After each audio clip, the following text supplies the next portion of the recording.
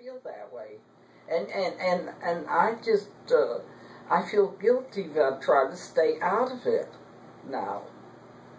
And I hated hospitals. I, I it wasn't because I didn't want to see the sick folks. I felt very unqualified.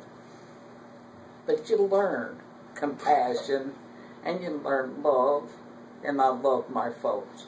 I love my people. Was a minister? A Baptist minister. Okay.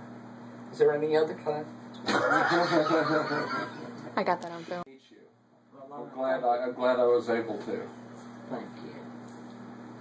I had I uh, I love people. I think that what's wrong with our world today is there not enough caring or loving for one another. I really do. How long